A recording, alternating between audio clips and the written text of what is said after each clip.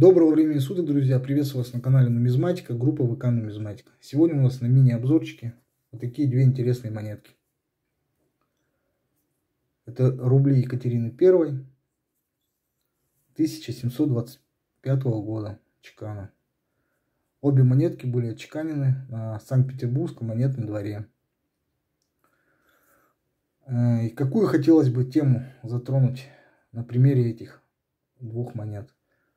Тему такую, как перечеканы сталеров в рубли. То есть есть гипотеза, что талеры перечеканивались в рубли Петра I и в рубли Екатерины I. Какие мы наблюдаем сегодня на мини-обзоре. Есть два лагеря. Кто утверждает, что перечеканов не существовало, а есть те, кто утверждает, что перечеканы существовали. Первая гипотеза тех, э, кто утверждает, что перечеканов не было, они утверждают э, и говорят об этом, что при чекании монет при перечекании монет э, отсутствуют следы исходной монеты, то есть таллера.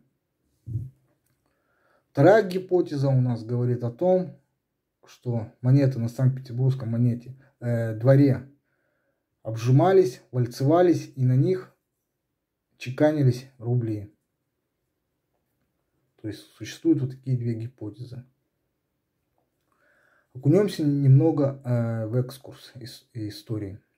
Следующие перечеканки серебра несли лишь политические мотивы. Свергнув с престола императора-младенца Иоанна, Иоанна Антоновича, царица Елизавета Петровна поначалу не чувствовала прочность власти. Одним из способов ее укрепления стало изъятие из оборота под угрозой наказания всех портретных монет ее предшественника.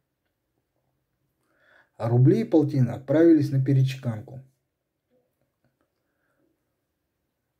Точно так же поступила Екатерина II с монетами, на которых был портрет Петра III. Однако в этом случае речь идет лишь о частичной их замене. Так как большинство портретных монет прежнего императора осталось в обороте. Перечеканка золотых монет осуществлялась лишь два раза при Петре I.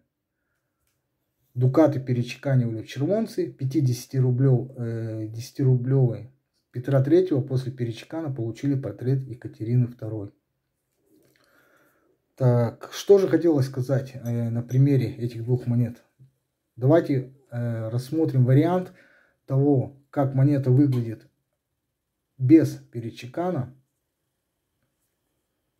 сталеров. И как могла бы выглядеть монета, если бы на ней был, если бы она была с перечеканом. С перечеканом. То есть с, монет, с монеты Талер. Рассмотрим первую монетку. Данная монетка у нас абсолютно в, норме. В норме. Гурт у нее узор. Вот видим узор. Толщина в норме. То есть вес монеты 28-44, э, диаметр монеты 41 миллиметр. То есть, э, что она говорит? Монета абсолютно в норме. На данной монете, в принципе, э, данная монета, в принципе, не могла быть перечеканена стайлера, так как у монеты все в норме. Вот такая у нас монетка, друзья. Что же нам говорит вторая монета? Вторая монета нам э, говорит о том, что если бы перечеканки сталеров в рубли существовало, то яркий пример тому вот именно эта монета. А почему? Потому что вес монеты 29 грамм, а диаметр монеты 46 миллиметров. То, что нам говорит, что намного норматив, норматив этой монеты больше вот этой монеты. Также монета очень тонкая. очень тонкая. Гурт у нее овальный. То есть можем обратить внимание на шнур. Вот у нас шнур идет вправо. сразу же он переходит влево. То есть монету э, гуртили неоднократно, э, пытались загуртить, но у них это плохо получалось. Почему плохо получалось? Потому что монета явно была вальцована, был на ней, присутствовал обжим монеты, из-за этого гурчение не вышло. Также на канте отсутствует бортик монеты, что мы видим на примере вот этой монеты.